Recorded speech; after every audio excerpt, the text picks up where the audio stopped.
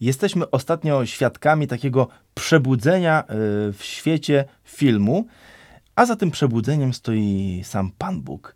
Y, widzimy, że na przestrzeni ostatni, ostatnich lat powstaje dużo produkcji ewangelizacyjnych, dużo produkcji o bohaterach y, wiary, o których czytamy w Piśmie Świętym.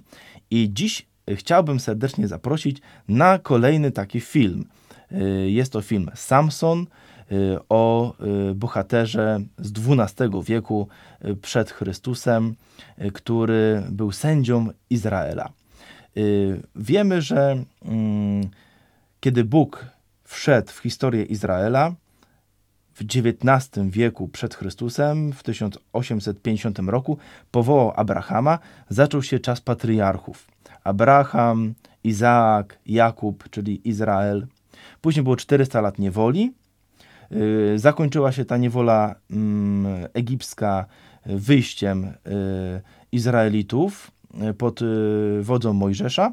Później Mojżesz umiera, Jozue wprowadza Izraelitów do ziemi obiecanej. No i teraz od tego momentu, kiedy Żydzi wchodzą do ziemi obiecanej, następuje czas sędziów, ponieważ ciągle w narodzie żydowskim dochodziło do różnych kłótni, do, do różnych takich dziwnych sytuacji wojna za wojną i tak dalej. No i naród potrzebował jakiegoś przewodnika, jakiegoś wodza i wybierali sobie tych sędziów. Czas sędziów kończy się z nastaniem czasu królów. Wiadomo, pierwszy król Saul, tak, mniej więcej 1040 rok. Y, później czas proroków, no i Mesjasz, Jezus Chrystus. Ale my tutaj chcemy powrócić właśnie do tego czasu, y, kiedy Żydzi wchodzą do ziemi obiecanej, ale jeszcze nie mają króla wybranego, czyli 200 lat funkcjonują właśnie wybierając co chwilę, co kilkadziesiąt lat jakiegoś y, człowieka, mężczyznę bądź kobietę, aby w funkcji takiego sędziego rozstrzygał pewne sprawy i był wodzem dla narodu. I został takim e, sędzią wybrany Samson, naznaczony przez Boga różnymi charyzmatami. Wiemy o nim przede wszystkim, że, że miał niezwykłą siłę fizyczną, ale nie wiemy wielu innych rzeczy, których film Samson y, właśnie nam chce pokazać.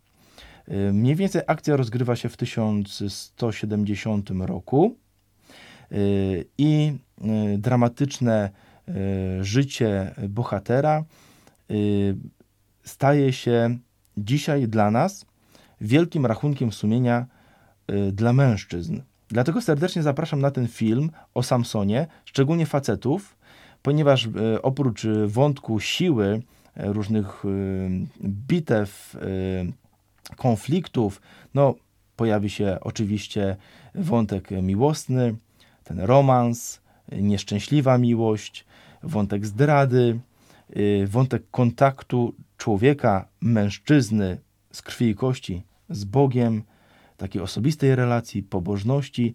No, bardzo dobre e, kino właśnie dla facetów, y, szczególnie. Ale serdecznie zapraszamy wszystkie kobiety. Pięknie będzie, jeżeli przyjdą pary.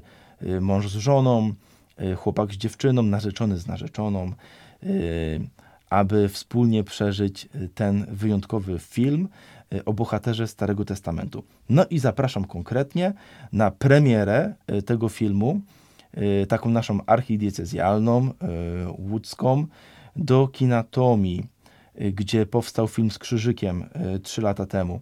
W tym kinie, dzięki życzliwości dyrekcji, mamy możliwość pokaz, pokazywać właśnie przedpremierowo, premierowo najlepsze filmy, które mm, wybieramy. Tak więc w kinie Tomi w Pabianicach przy Gdańskiej 4 17 sierpnia odbędzie się taki wyjątkowy pokaz o godzinie 21. Wyjątkowy, ponieważ rozpocznie go krótka konferencja biblijna o Samsonie. Później pomodlimy się lekko, żeby Duch Święty pomógł nam przeżyć ten film i bez już niepotrzebnych reklam, yy, innych filmów rozsmakujemy się właśnie w tej najnowszej produkcji e, w Samsonie. E, chcę na koniec powiedzieć, że e, film został zrealizowany przez tę samą ekipę, która nakręciła Bóg nie umarł, 1, 2, 3, czy naprawdę wierzysz i te inne mega piękne, fajne filmy ewangelizacyjne. Tak więc wysoki poziom. Dodam jeszcze, że nakład finansowy na ten film jest o wiele, wiele większy niż na Bóg nie umarł. Dlatego będziemy mogli podziwiać bardzo fajne sceny batalistyczne, efekty specjalne. Serdecznie zapraszam. Facetów, ale nie tylko. Film Samson już 17 sierpnia w najlepszych kinach w Polsce. Ja zapraszam na premierę do Pabianic na 21, ale jeżeli ktoś się nie wyrobi na ten termin, niech szuka w innych kinach Samsona. Bilety są dostępne u jezuitów na Sienkiewicza 60 w Łodzi na tę premierę, bądź w kasie kina w Pabianicach. Zachęcam, aby wybrać się w ten piątkowy wieczór i przeżyć ten film bardzo refleksyjny. Może dla wielu mężczyzn film ten będzie pomocą w weryfikacji swojego życia, swojego powołania do męskości, do małżeństwa, do bycia ojcem.